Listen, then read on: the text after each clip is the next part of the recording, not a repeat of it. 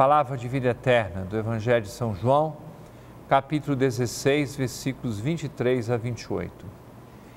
Naquele tempo, disse Jesus aos seus discípulos: Em verdade, em verdade vos digo, se pedirdes ao Pai alguma coisa em meu nome, ele vô-lo dará.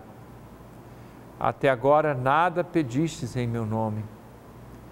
Pedi e recebereis, para que a vossa alegria seja completa. Disse-vos estas coisas em linguagem figurativa. Vem a hora em que não vos falarei mais em figuras, mas claramente vos falarei do Pai. Naquele dia pedireis em meu nome, e não vos digo que vou pedir ao Pai por vós, pois o próprio Pai vos ama, porque vós me amastes e acreditastes que eu vim da parte de Deus. Eu saí do Pai e vim ao mundo. E novamente parto do mundo e vou para o Pai.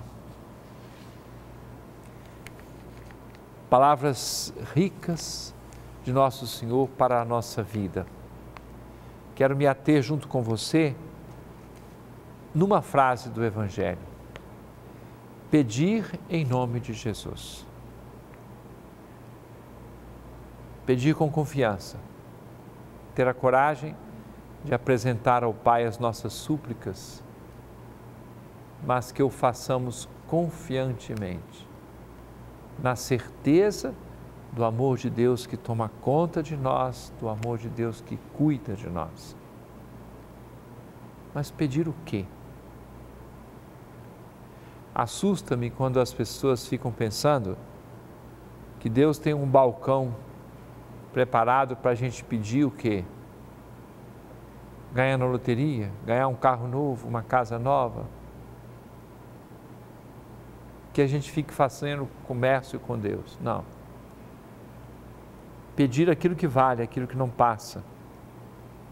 A força para levar para frente a vida cristã, a força para trabalhar a unidade, o amor em nossos corações. As outras coisas virão como consequências, mas é preciso primeiro pedir as condições para o seguimento de Jesus.